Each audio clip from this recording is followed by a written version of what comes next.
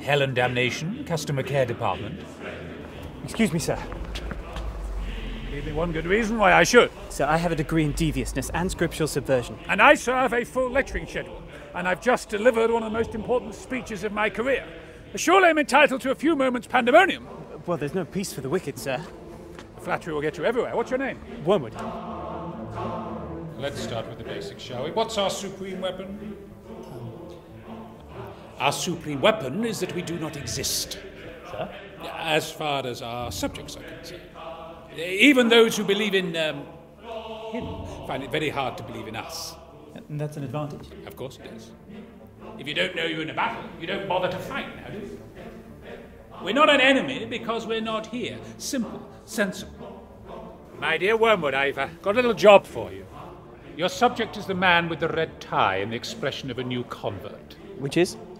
It's an awkward mixture of uncertainty, embarrassment, superiority. this one. yes. Your job is to start raising doubts, uncertainties, difficulties. Hmm. Doesn't sound like much of a challenge, sir.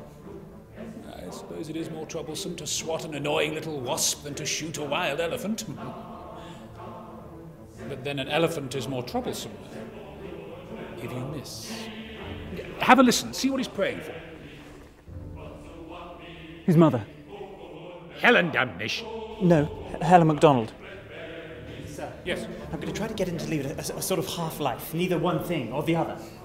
My dear Wormwood, if it's not one thing, it's quite definitely the other. But, sir, surely every road can lead to hell. Yes.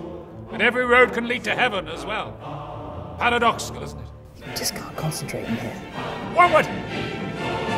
Get back here! Sir, I can't stop him. I tell you this much. Our cause is never more in danger than when a human no longer desiring but still intending to obey looks around a universe where all trace of God seems to have disappeared, and yet he still obeys.